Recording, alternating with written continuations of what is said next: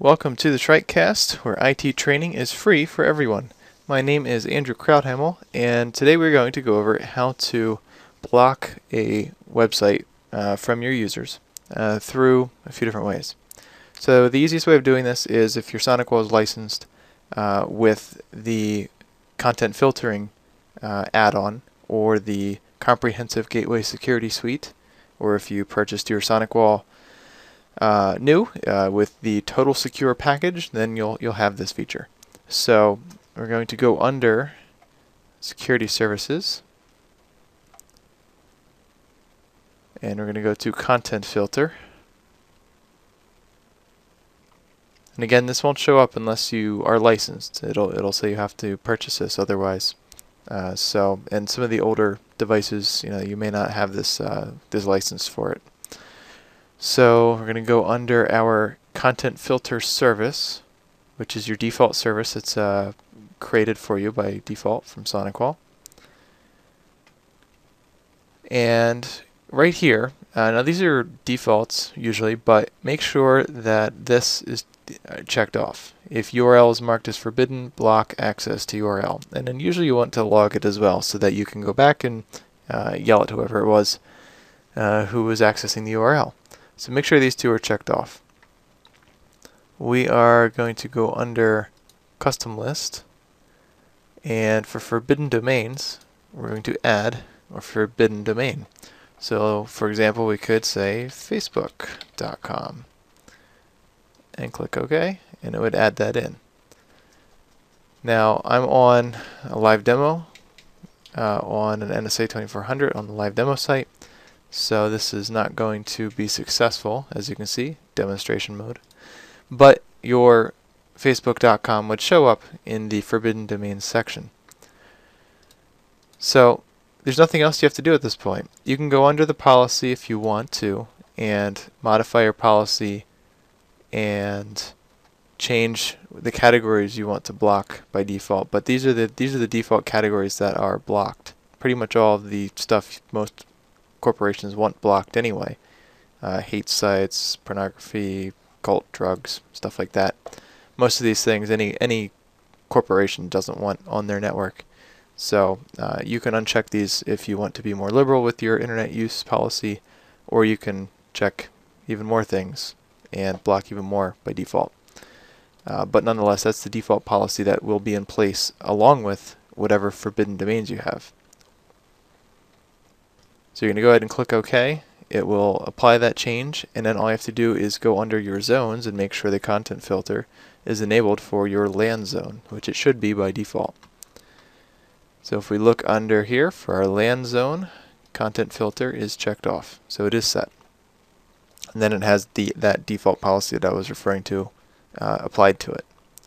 So if it's not, you can go in, edit that, check off content filtering, and then that'll show up for you.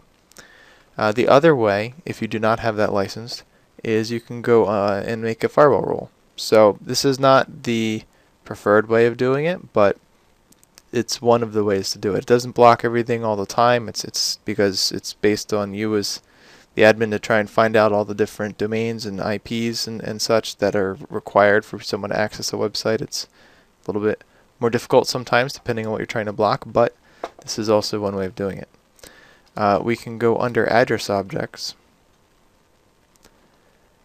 and make an address object for the website that you want to block. So we can go in and add, we'll call it Facebook. Zone is going to be WAN because it's on the internet. From our perspective, it's, it's on the wide area side of things. And we're going to make it a fully qualified domain name, FQDN. And then here we can say facebook.com and then you'd go ahead, click add, and that would add that into your object list. So that would show up down here. At this point we can create a firewall rule to block that. So you would go under firewall access rules and then we're going to add an access rule from the LAN to the WAN for the Facebook address object. So we're going to go from LAN to WAN, any service, although although it, you could probably say HTTP and HTTPS and, and make a group for it, any service will cover obviously anything. And we're going to go and select our source, which is our entire subnet, and our destination. So here's in our destination is where we would select our object for facebook.com. So in here, probably in the middle here somewhere, or at the bottom, depending, uh, you would see Facebook, the object that we created. So we can pretend, pretend that's it.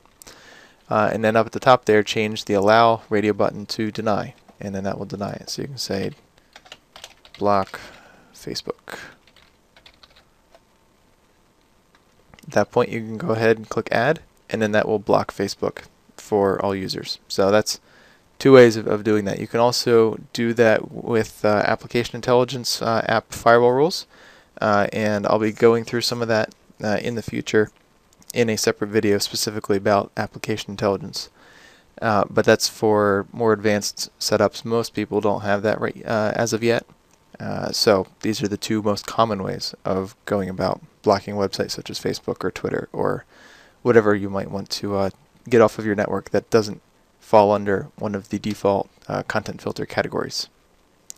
And uh, that is it for today. It's a quick, quick one today. So in the future, I may have some interesting lab environments set up. so look forward to that. And if you enjoyed these videos, please like and subscribe to the channel and uh, look back here for uh, every week for a new video and check out andrewcrouthamel.com for other uh, blog entries of mine about uh, IT and security and networking in general. Thank you for viewing and I will see you next week.